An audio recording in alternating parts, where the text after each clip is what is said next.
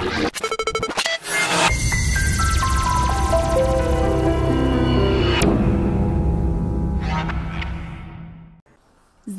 bia, mứt, kẹo và đồ hộp là những mặt hàng chủ yếu dịp Tết và có hạn sử dụng khá ngắn, được công ty trách nhiệm hữu hạn Mai Linh, khu công nghiệp Duyên Hải, thành phố Lào Cai nhập về. Do vậy, việc lựa chọn các công ty sản xuất có uy tín chất lượng lâu năm cũng là tiêu chuẩn được nhà phân phối đặt lên hàng đầu. Về phía doanh nghiệp thì cũng đã chủ động nhập hàng từ các nhà cung cấp, các tổng công ty từ ngay từ đầu tháng 11 để đảm bảo nguồn hàng để cung cấp ra thị trường. Đấy, thì còn à, tất cả các nhãn hàng đây thì là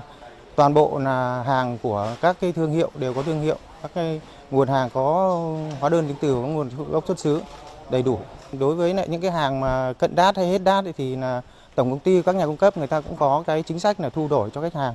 Đúng rồi, đảm bảo vệ sinh an toàn thực phẩm, à, đảm bảo cái sức khỏe cho khách hàng cũng như người tiêu dùng.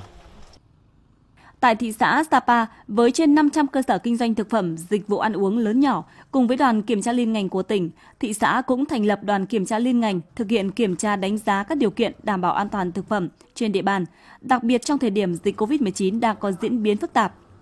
Trên ờ, địa bàn thị xã Sapa thì đã được chú trọng về công tác đảm bảo an toàn vệ sinh thực phẩm, không những là đối với cơ sở và người dân mà kể cả đối với những cái ờ, loại hình dịch vụ ờ, tự phát như là homestay thì chúng tôi cũng đều quản lý chặt chẽ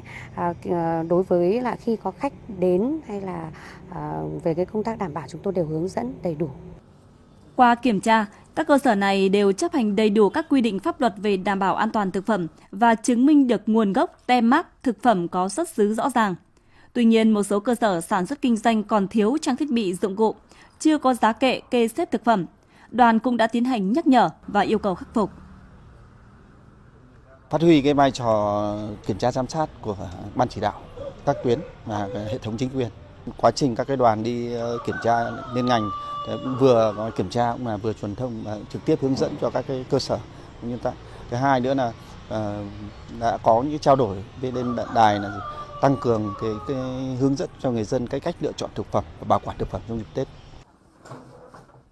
Gia quân kiểm tra từ cuối tháng 12, đến thời điểm này, 155 đoàn kiểm tra liên ngành an toàn thực phẩm cấp tỉnh và các tuyến, huyện, xã đã thực hiện kiểm tra đánh giá an toàn thực phẩm trên 700 cơ sở sản xuất, chế biến, kinh doanh thực phẩm và dịch vụ ăn uống, thức ăn đường phố.